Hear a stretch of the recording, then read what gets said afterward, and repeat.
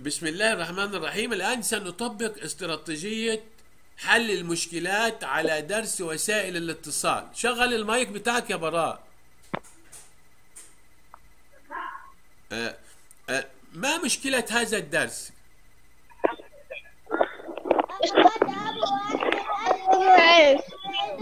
عطل في الهاتف. عطل عطل عطل في الهاتف. في الهاتف. عطل في الهاتف. أحسنت. عطل في الهاتف. طيب.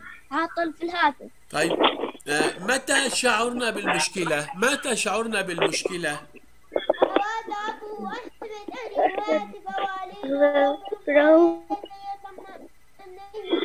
أيوه.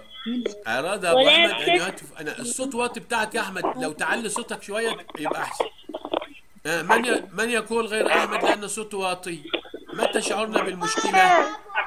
أراد أبو يا أبو ها؟ أراد أبو أحمد أن يهاتف والده في القرية ليطمئن عليه. ألو. ولكن الاتصال إيه؟ ألو. ولكن الاتصال تعثر تعسى بسبب طيب.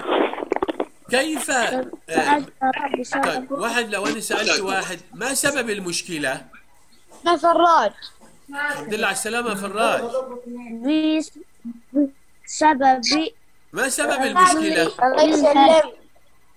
كان سبب المشكلة سبب عطول الهاتف.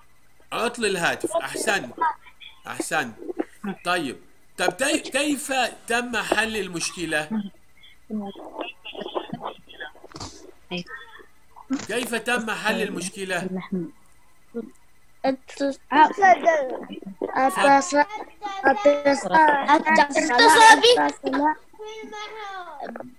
اتصل بي. بهاتفي محمول أحسنت أحسنت يا هتان أحسنت يا يا, سلطان وأحسنت يا بلال اتصل بالهاتف المحمول طيب لو أردنا أن نطبق حل المشكلة على مشكلات مشابهة آه، وحدث عندنا عطل في الهاتف. ماذا نفعل؟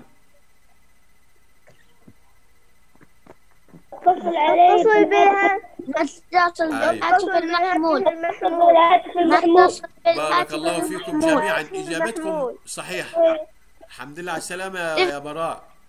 المايك بتاعك اشتغل أهو. أحسنت يا بلال. أحسنت يا سلطان وأحمد وعبد الملك وفاه وهتان إجابتكم رائعة. يبقى إحنا عندنا خطوات حل المشكلة آه، آه، خمس أشياء. أول شيء من يذكرنا بها؟ قول يا بلال.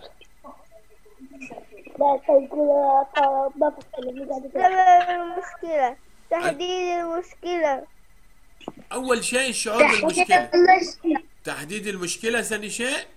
ثالث شيء. حل. لا حل. ها؟ سبب؟ المشكلة. المشكلة. ورابع شيء. حل المشكلة. أيوه.